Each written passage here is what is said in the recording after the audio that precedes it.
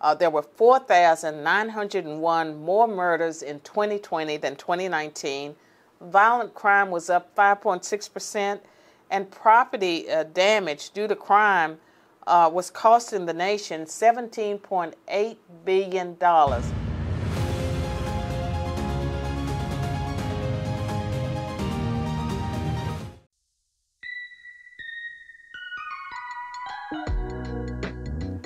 Of you have asked about defund the police.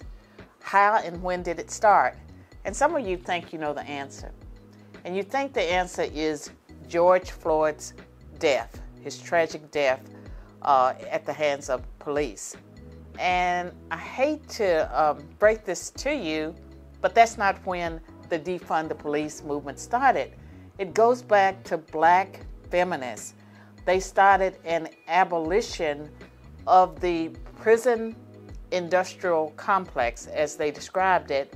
And so they have pressed for years, and it's something that is rooted in Marxist ideals. This whole idea that we don't need the police, and that when it comes to black people in particular, that prisons and jails and incarceration has been a way uh, to control black people.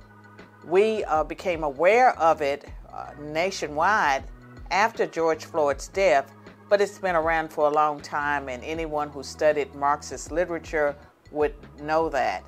And the consequences of it, I think we see the consequences of it all across our nation, where there has been a 30% increase in crime since 2020, and uh, the murder rate in particular, which was declining, it has increased significantly.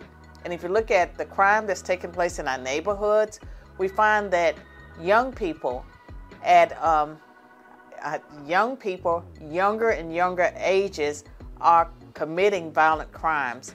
And one of the most heart wrenching ones happened a few months ago when a 78 year old black man came out of a CVS and he was uh, carjacked by two uh, young black people I don't remember whether they were teenagers or early 20s. And not only did they kill this man, they backed over him with the car as part of their getaway. And we just see these crimes taking place. And I believe that many people believe that it is connected to the defund the police movement because it's resulted in so many police officers leaving policing altogether. And it's not an occupation that is as desirable as it once was. Plus, the defund the police movement pressured uh, many uh, state and local governments to cut back on the financing for police. So there's been fewer resources for police officers, some of them reluctant to stop criminals and to police the way they did in the past. And I think we suffer as a consequence because in the black community, uh, black people uh, in inner city communities tend to be um, victims of crime. Black on black crime uh, is something that's very familiar.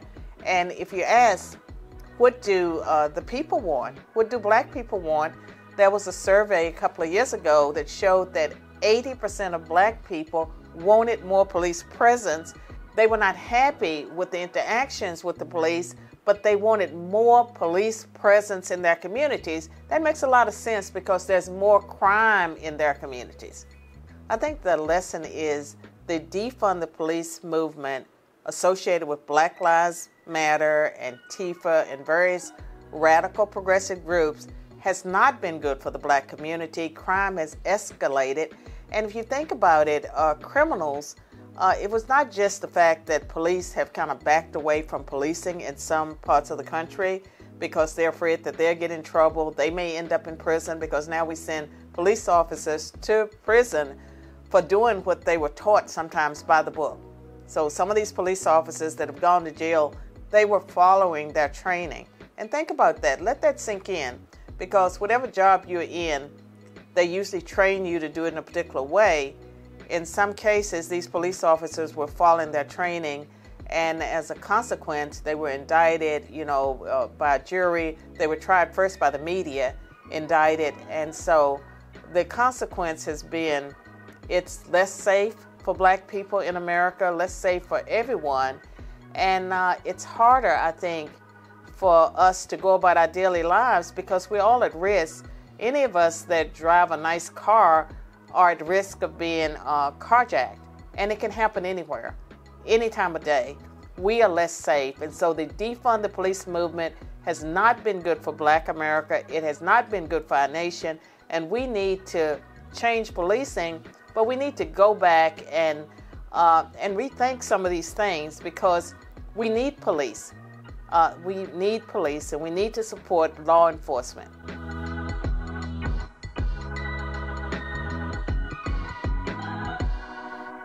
Now, now, what's the impact of defunding the police and removing funding from police officers? Now, bear with me. I'm going to read you some stats, and these stats are from 2020. It's much worse now. The stats from 2022, 2021, much worse. Uh, 2020, after George Floyd's death, there was a 30% increase in murder, according to the FBI statistics on crime.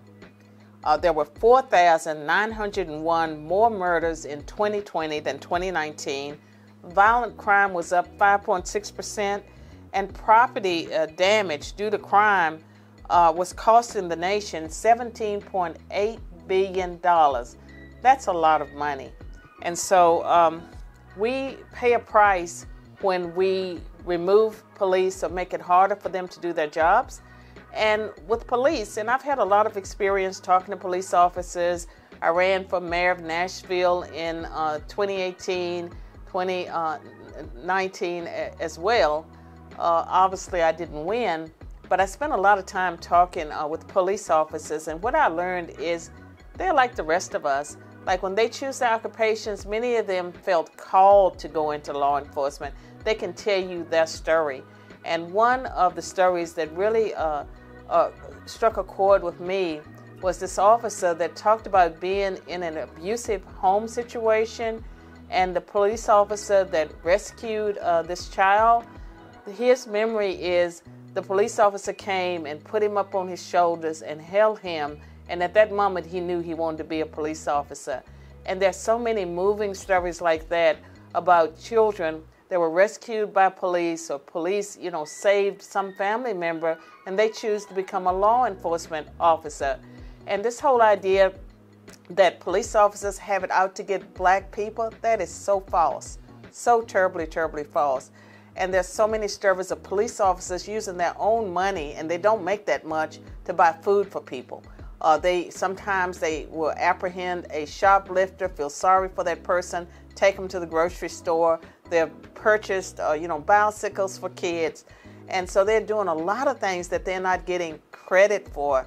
So we need to support police officers. We need to stand up for police officers and more of us. And I realize, you know, that the Blexit audience includes everyone. And so I'm not just talking to black people, I'm talking to everyone. More of us who feel called to do so should go into law enforcement. Thanks everyone for watching. I hope you enjoyed uh, this episode. Be sure to leave a comment. It would be great if it was positive, but I really want to know what you think. So leave a comment. Be sure to subscribe to this channel, tell your friends about it, and support Blexit and its mission. Thank you.